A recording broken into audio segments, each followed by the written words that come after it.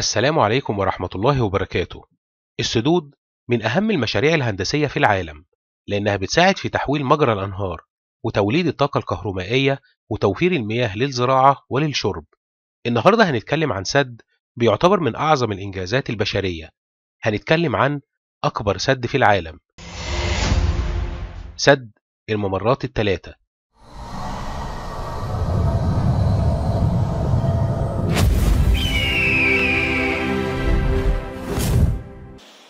أهلا بيكم. سد الممرات الثلاثة هو أضخم سد اتبنى على الكرة الأرضية.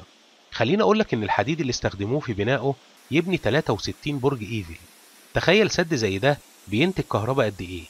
السد بيولد طاقة كهرومائية بقدرة 22500 ميجا واط وده اللي هنتكلم عليه بالتفصيل. هتقولي هو السد ده فين؟ السد موجود في الصين على نهر يانجستي ونهر يانجستي هو أطول نهر في قارة آسيا وتالت أطول نهر في العالم. نهر يانجستي معروف بالفيضانات المدمرة اللي كانت بتقتل وتشرد كتير من الناس هناك. كانت أكبر كارثة بسبب نهر يانجستي حصلت سنة 1931 وقتها حصل فيضان مدمر قتل 4 مليون شخص وشرد الملايين. بعدها الصينيين فكروا إنهم يبنوا سد على نهر يانجستي عشان يمنع الفيضانات دي وعشان يوفر لهم مياه يستخدموها في الزراعة وكمان يستخدموه في توليد الطاقة الكهرومائية. وفي سنة 1919 بدأ يظهر أول تصميم للسد وفعلا بدأ التنفيذ لكن سنة 1939 احتلت اليابان الصين ووقف بناء السد. وبعد فترة طويلة من الحروب اتحررت الصين لكن دخلت بعدها في حرب أهلية. وفي سنة 1993 بدأت الصين في بناء أكبر سد في العالم. وبعد عشر سنوات وفي عام 2003 تم افتتاح سد الممرات الثلاثة خليني أقولك إن طول السد 2335 متر وعرضه 181 متر وارتفاعه 181 متر يعني مبنى مكون من 60 طابق وأعلى من هرم خوفو اللي ارتفاعه 139 متر. تكلفة بناء السد 37 مليار دولار أمريكي وشارك في بنائه 20 ألف عامل. استخدموا في بنائه 510 ألف طن من الحديد. كمية الحديد دي تبني 63 برج زي برج إيفل واستخدموا 27 مليون متر مكعب من الخرسانة والكمية المهولة دي من الخرسانة تبني سبع سدود زي سد هوفردام الأمريكي الضخم والأغرب من كده إنهم لو فردوا كمية الخرسانة دي على الأرض تعمل حزام عرضه متر يلتف حول الكرة الأرضية. سد بالضخامة دي كان لازم يكون وراه بحيرة ضخمة جدا. بحيرة السد اتوصفت بإنها من أكبر خزانات المياه في العالم. سعة البحيرة 40 مليار متر مكعب. وطولها حوالي 600 كيلو متر وعرضها من 1 إلى 2 كيلو متر وزن المياه المتخزنة في البحيرة وصل ل 43 مليار طن.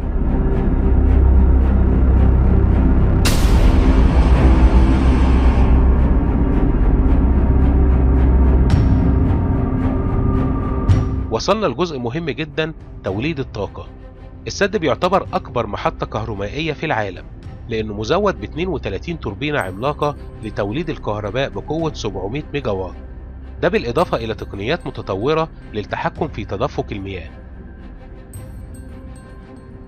حجم إنتاج الكهرباء من السد بيصل إلى 22500 ميجا واط.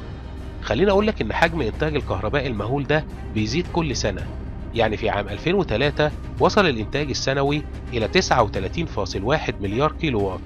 وبعد سبع سنوات وفي عام 2010 وصل الإنتاج السنوي إلى 84.4 مليار كيلو واط وفي عام 2012 وصل الإنتاج السنوي إلى 98.1 مليار كيلو واط وفي عام 2019 وصل إلى 111.8 مليار كيلو واط ومع كمية الطاقة الكبيرة دي وصلت الصين إنها بتنتج كهرباء أكتر ما بتستهلك وأصبحت من أهم الدول اللي بتصدر طاقة في العالم. ومع كل الإمكانيات الضخمة دي للسد وبعد فترة من بنائه حصل فيضان ضخم في الصين وبسبب الفيضان ارتفع نهر يانجستي لأعلى حد سجله من 60 سنة. الفيضان ده تسبب في أضرار ل 55 مليون شخص ووصلت الخسائر إلى 144 مليار دولار. الناس شافت إن السد ما قدرش يقف قصاد الفيضان وحصل انتقادات كتير للحكومة الصينية اللي صرحت وقالت إن الفيضان ده كان قوي جدا ولولا السد كان حصل كارثة كبيرة داخل الصين.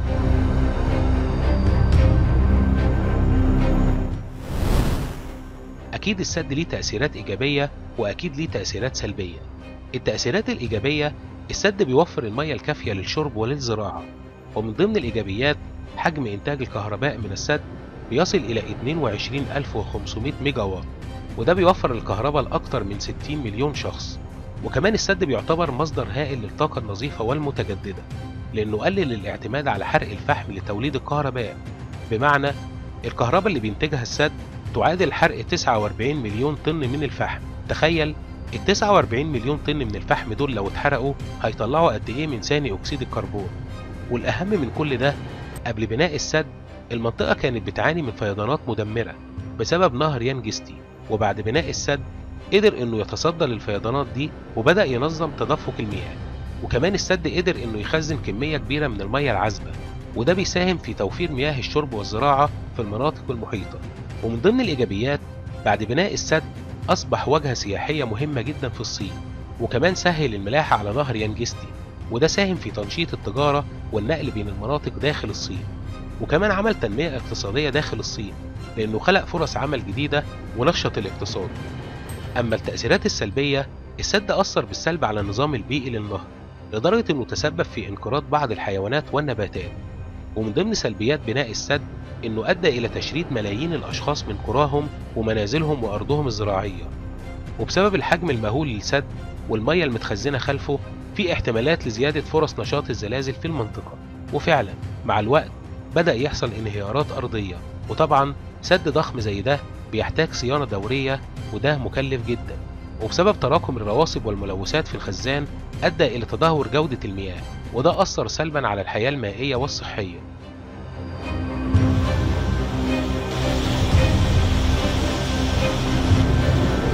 سد الممرات الثلاثة مش بس أكبر سد في العالم لكنه دليل على قدرة الإنسان على مواجهة التحديات وتحقيق المستحيل.